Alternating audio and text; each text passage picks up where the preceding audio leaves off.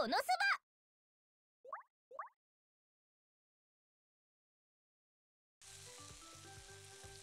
さあ今夜は俺のおごりでバーベキューだ。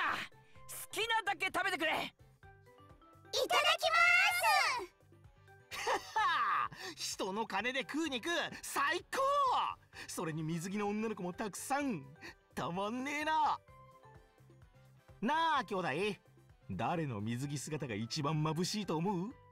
余すことなくクズを発揮してるな。俺はそういうお約束には乗らない。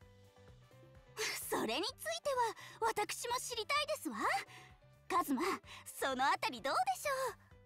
そうですね。参考までにお聞かせください。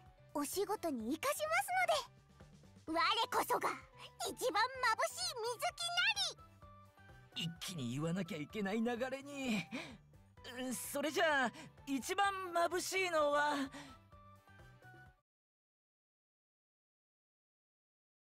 ダストかな。いつものチャランポランな感じが水着で際立ってるぜ。いやそれ褒めてねえだろてか俺を選ぶんじゃねえ。おお二人ってそういう関係だ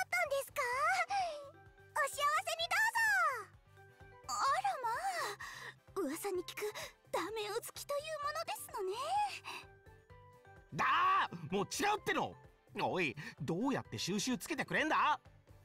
ななんかごめん。このスパ